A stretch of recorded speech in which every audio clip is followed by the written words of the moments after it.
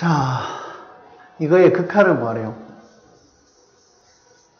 limit 3의 케이스 시그마 3의 k 빼기 1승 사인 세제곱 3의 k 승분의 x의 그 값을 구하래. 자, 필요하다면 3배각 공식을 쓰시오. 이 말의 의미는 반드시 필요하니까 써라. 안 쓰고 맞추면 니는 천재다. 반드시 쓰세요. 이게 얘기예요. 필요하다면 쓰라는 게 아니고. 자, 그래서 3배각 공식이 여기 있는데 쓰라는 것은 일단 얘는 뭐야? 급수잖아. 맞나? 급수를 미적분해서 2단에 나온 급수는 어떻게 돼? 무한수열, 수열을 더하기 기호로 연결한 식이야. 그의 수령 말사는 뭘 해야 돼? 부분합을 구해서 극한을 취한다가 정의라고요. 그래서 우리가 할 일은 부분합을 구해야 돼. 안 구하는 문제는 뭐야? 비교 판정법, 뭐 N항 판정법 등등 대학 과정이야. N항 판정법은 이제 고등학교 과정이지만. 근데 그거의 값을 구하란 말은 부분합을 구해야 돼. 근데 구하는 문제는 두 가지 있다 그랬지. 뭐냐? 망원급수 아니면 등비급수라고. 근데 여기서는 등비급수처럼 보이지만 얘 때문에 안 돼요. 여기 등비급수니까. 그러면 이걸 어떻게 하면 망원급수나 등비급수 꼴로 고칠 거냐라는 거예요. 그때 필요한 게 절실한 게 3배가 공식이니까 필요하면 쓰라는 얘기예요. 그러면 이 모양에 여기 3제곱이 있잖아요. 여기가. 이 3제곱과 관련된 게 여기 있는 3제곱이에요. 그럼 얘를 갖고 뭘 하다 보면 샌드위치가 만들어지니까 문제를 냈다는 거야. 자, 그러면 우린 요 식에서 보면 사인 세제곱 세타는 4분의 1에 얼마? 3 사인 세타 빼기 사인 3 세타라는 이 식이 있으니까 얘를 갖고 한번 어, 세타를 뭐야? 3의 k승분의 x로 놓고 한번 변형을 해봐요. 그러면 사인. 세제곱의 3의 k제곱분 x는 4분의 1의 3배의 사인. 세타니까 그대로 적재 3의 k승분 x. 빼기 사인.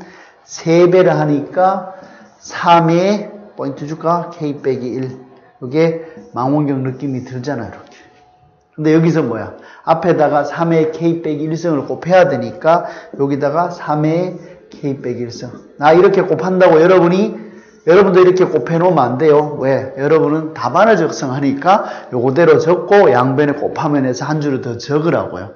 왜? 서술을 뭐야 논문을 쓰듯이 말을 하면서 적어야 돼. 나 안 적은 이유는 말을 했으니까 안 적잖아. 근데 아마 답안 적을 때는 나 말을 안 하니 그를 중간에 적을 거예요. 양변에 얘를 곱하면 이렇게.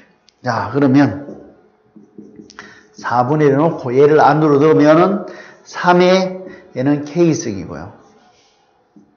빼기 얘는 아 사인의 3의 K승분의 X고 빼기 얘를 분배하니까 이제 원하는 놈 나오잖아요. 3의 몇 승?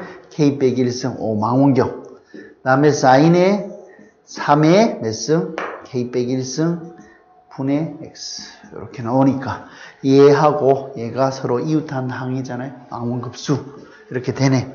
그 다음 우리가 할 일은 자 여러분이 리미트를 함부로 쓰면 안 되고 여기서 이제 급수를 부분합을 돼요. 시그마 k 이퀄 1부터 n까지가 맞지. 보자. 음, 맞으니까요. 얘를 적어요. 3의 k 빼기 1승 사인의 세제곱 3의 k승분의 x는 위에 거대로 적으면 시그마 k는 1부터 n까지 4분의 1에 3의 k승 사인 3의 k승분의 x 3의 k 빼기 1승 사인 3의 k 빼기 1승분의 x로 적고요.